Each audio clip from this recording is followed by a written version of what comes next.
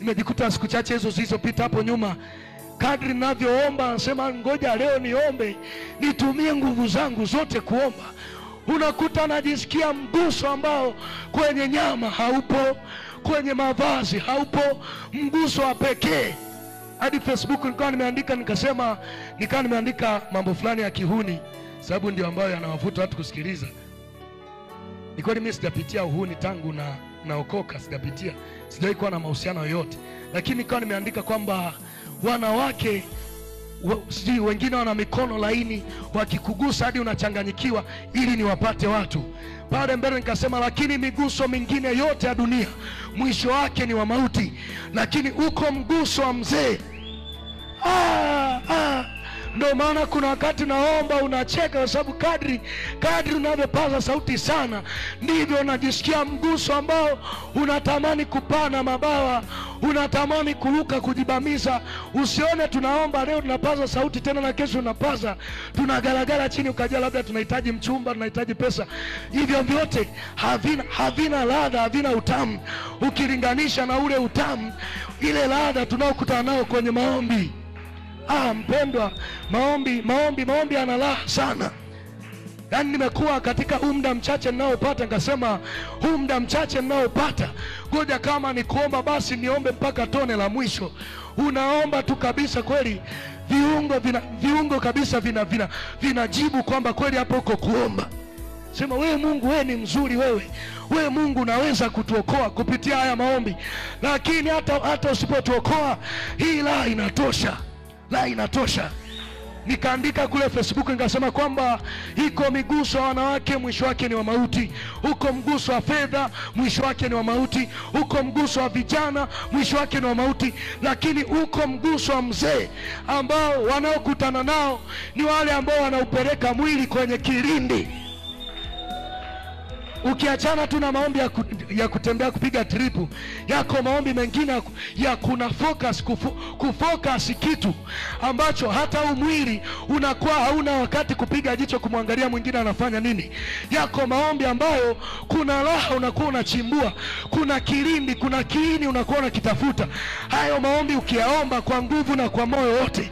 Hayo maombi ndo yenye uzuri ambayo yakanipa kwamba kujua wanawake wana miguso ya ajabu, pesa zina miguso ya ajabu, nyumba zina miguso ya ajabu, mali zina mguso wa ajabu, lakini uko mguso wa ajabu ulio kwenye maombi, ulio juu ya miguso yote. Mguso mguso wa maombi ambao ukishaguswa huo vingine vyote vinakuwa vinakuwa low quality yaani mungu akikugusa vingine vinapokugusa vinakuwa chini ya kiwango. Vingine vikikugusa hutosheki hushibi. Ah, mwa- mwa- mwanzoni tulikuwa tunachanganyikiwa na wanawake ukimwona anakuchanganya.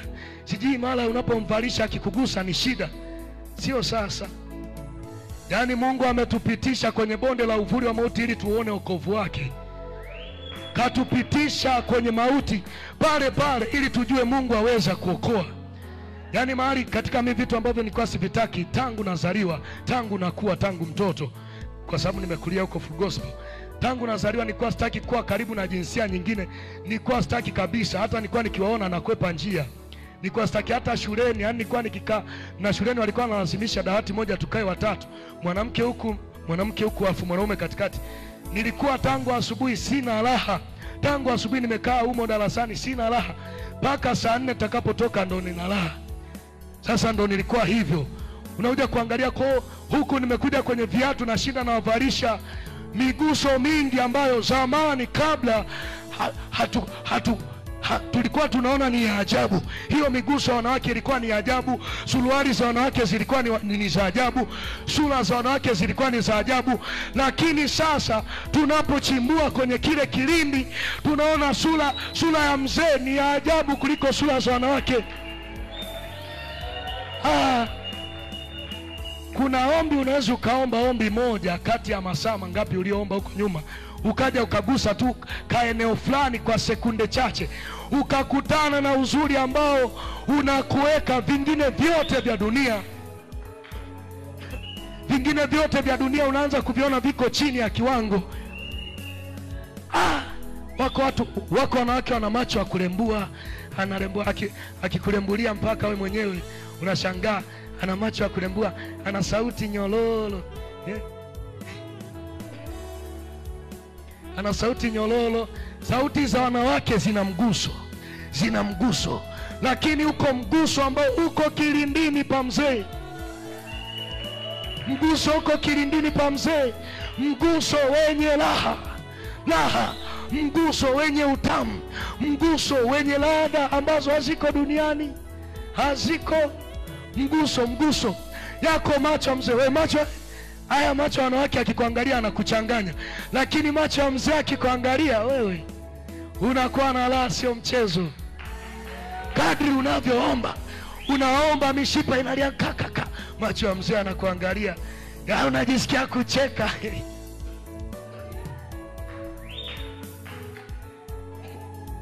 Ukikuta ukikuta kuna macho amekuangalia unachanganyikiwa unapoteza network ujue ni macho ya mauti hayo lakini yako macho ya mzee ambayo kadri unavyoomba jasho unatoka makamasi yanatoka.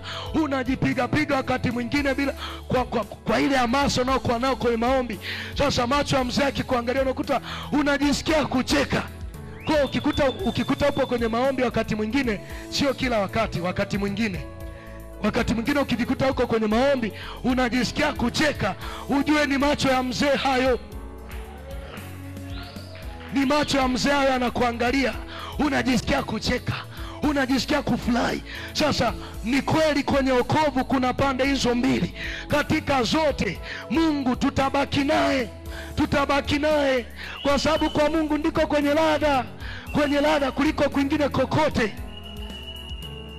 Ah, nikiwa namaliza tu niseme kwamba maombi niliyoomba baada ya kupita kwenye kale kahoma yamenishangaza sana nikasema mungu kwa nini tusiwe basi naumwaumwa ili tuwe tunapiga hatua? Kwa sababu baada ya pale baada ya pale nikawa nasema mungu naomba katika huku kuimba ninakoimba basi naomba unipe neema ya kuwafikia wengi ili hata nikihubiri chochote niweze kubadili ulimwengu na kuwavuta wengi kwako. Nikasema mungu naomba, naomba nipe neema, neema hiyo lakini kama itashindikana kuwafikia wengi basi nipe neema tu ya kukukaribia kwa ibada. E, yaani muda mchache au muda mwingi nitakopata kama nikuomba basi niombe kwa ibada. Kwa sababu naona nikiomba kwa ibada yanakuta unajisikia huko ulimwengu mwingine. Ulimwengu mwingine kabisa.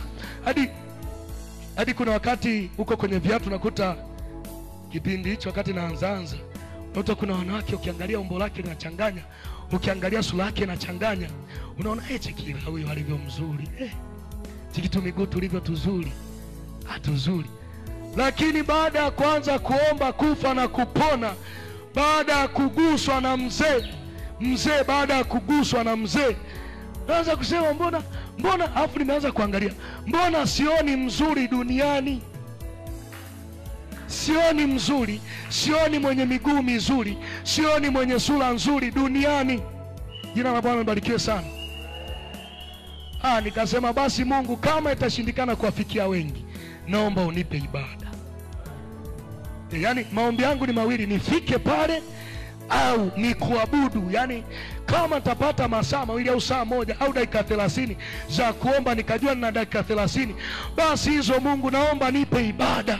Katika maombi nitakayoomba naomba nipe ibada. Yani niombe kufa na kupona. Hiyo laa ninayokutana nayo huko ndani hii ndo niikaribie kuna wakati nakuta unaomba nacheka naomba nacheka unagaragara unacheka kwa sababu pale unakuwa unagusa uzuri fulani unagusa namna fulani ya kauwepo ambako kako juu ya, juu ya umaarufu kako juu ya nyama ninazopikaga kako juu ya mayai ninayokulaga kako juu ya wali ninayopikaga tena mungu amenipa kipaji cha kupika wali.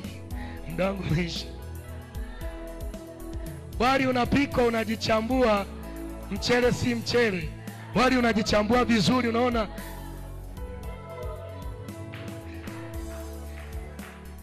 Tuna tunaupika unaona? Wali unakuwa vizuri wakati mwingine unanunua na tunyama tu mahali. Lakini unaona unakula hujisikii raha sana hujisikii yani unaona ni kama tu maisha tumetimiza tu maisha na siku ziende. Lakini kuna mguso tunakutana nao huku na huku, na unagaragara, unacheka, kuna ganzi inakuwa inatupiga hey, tunapigwa na ganzi. Usi, usizani tunaomba tunalia, labda tuna shida, kuna vitu vinatuchanganya. Mi binafsi hakuna kwa sasa, tangu nipitie hiyo changamoto, ndio maana nasema namshukuru Mungu sana aliyenipitisha hapo, kwa sababu pameleta wokovu, pamepunguza vita pamepunguza vita, kwa sababu baada ya hapo nimekuwa kila nikiingia kwenye maombi unakuta naomba nacheka na galagala. Si kwamba nina shida na changamoto huko mitaani, huko mitaani vita hamna, ila kwa sababu naomba kule unajisikia ganzi, unaomba unalia "Ah!" Mara unasikia ganzi, kadri unavyopaza sauti mpaka ya mwisho. Unajisikia ganzi ya uzuri, ganzi tu fulani ambayo ukishatoka pale unaanza kuviona vingine vyote vya dunia, uzuri wake uko chini ya kiwango. Hadi hadi hadi kuna posti nikataka niandika ikasema, duniani hakuna mwanamke wa kunifiti kwa uzuri, hakuna hakuna hakuna wingi wa fedha za kunifiti, hakuna uzuri wa nyumba wa kunifiti, ila kazi tunapiga, kazi napiga kazi napiga na mambo mengi nafanya sawa sawa, kazi napiga na mambo mengi nafanya sawa sawa, lakini unakuja kuangalia kwa uzuri huu ulio ndani, mbona nje nje nje yangu sikioni kingine kinachoweza kuja juu ya uzuri kikawa zaidi ya uzuri huu. Ah, mpendwa, kuomba kwa nguvu zote kuna raha yake. Kuna kuna raha sana, kuna raha sana ambayo ndani ya moto tunaviona vyote vile, afu humo humo tuna, tu, tunakuwa na ujasiri wa kuvikatisha na kupita na, na kusimama na Mungu kwa vyovyote. Kwa kweli nashukuru sana kwa nafasi hii, nashukuru pia kwa kunisikiliza, nashukuru sana tu. Mungu awabariki sana, awabariki sana. kama Yusufu alivyosema, nifanyeje ubaya huu mkubwa nikamkose Mungu wa thamani? Aliona ni afadhali aende gerezani kuliko kujifurahisha katika ile dhambi kwa kitambo. Na ni kweli alikwenda gerezani, alikaa miaka ya kutosha akisimama na Mungu wa thamani. Hata alipojaribu kutafsiri ndoto kule gerezani, akawaambia wale ndugu zake, naomba mkifika kwa mfalme mnikumbuke. Wale ndugu akafika kwa mfalme, napo hawakumkumbuka. Aliendelea na ibada, akasimama na Mungu wa thamani wa thamani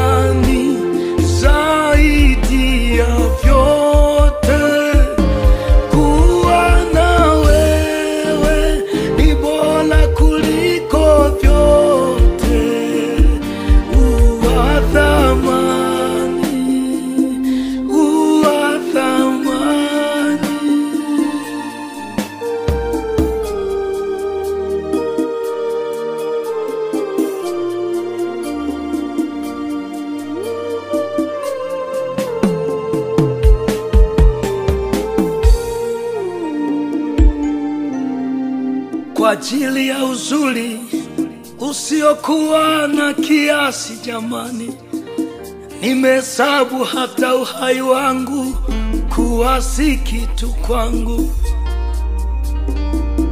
Ni maneno ya Paulo aliyonena kuwakilisha baba zetu waliokatwa vichwa wakitetea injili na wokovu wa thamani. Waliyaona maisha yajayo kuwa ni ya thamani kuliko anasa na dhambi zote za ulimwengu. Waliona kuwa na wewe ni bora kuliko vyote, wakabadilishana uhai wao na kile kitu walichokibeba.